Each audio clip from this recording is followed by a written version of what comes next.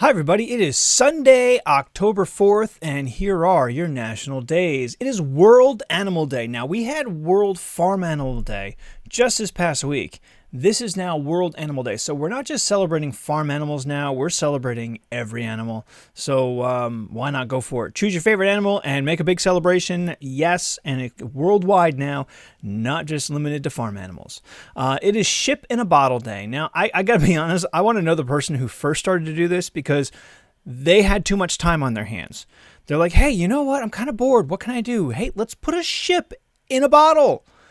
I'm just kidding about that, but like those people that can do that is a true skill and a true talent. I don't have that kind of talent, which is why I'm kind of making fun of it, um, because I, there's no way I could do that.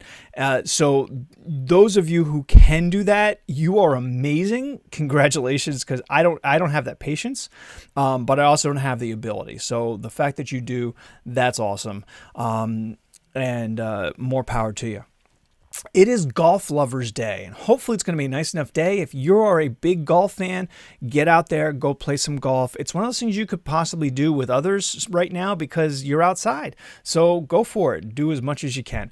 Um, it's Improve Your Office Day. Now, again, it's on a Sunday. I never understood these these these things that take place on a weekend, but is something you're supposed to do like on a, on a weekday regularly, unless you're in your office on a Sunday, which there could be people that are, and that's cool. You know, go for it. Improve your office today.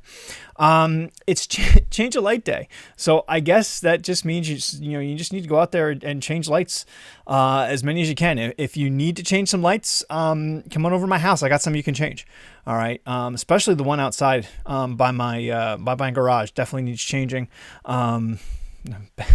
Result of a, a, terrible ball bouncing incident, but we won't get into that right now. But uh, definitely, there's some light bulbs that could be changed in my house. Um, so we're on to some food, and these these happen to be two terrific food days. I'm not gonna lie to you.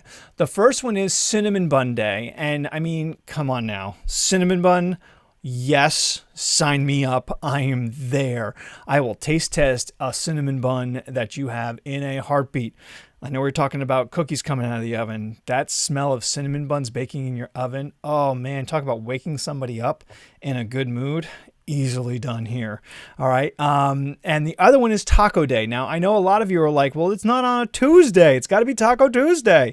Uh, so it's a Sunday, I know, but why not go have tacos today? Break that pattern. Go have your tacos. I know that we are in our house. All right, so um, Taco Day.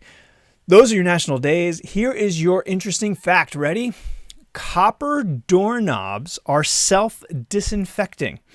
All right, now I, I, I'm a little little weary of this one, but especially with everything going on right now, maybe everybody ought to be investing in copper doorknobs. All right.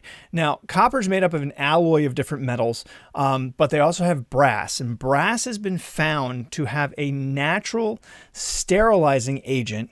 It gets rid of bacteria that builds up on them just because of how it naturally interacts with things. Uh, there's a whole big, like, scientific explanation that goes into this. I'm not going to like I'm not saying bore you with it, but I'm not going to try to talk about it because I have no idea what it is. Uh, I'm a music teacher. I'm a band director. Yes, I play trumpet, but like, and it's made of brass. But it, I I don't look at it going like, hey, my trumpet's going to keep me healthy. But apparently, maybe brass doorknobs will. So maybe it'd be worth looking into for those of you out there that are trying to find one more thing that can keep you healthy. Install a whole bunch of brass doorknobs around your house and everywhere where you go. All right, there you go. Hopefully, you have a great Sunday, everybody, and uh, we'll see you tomorrow. Have a good one.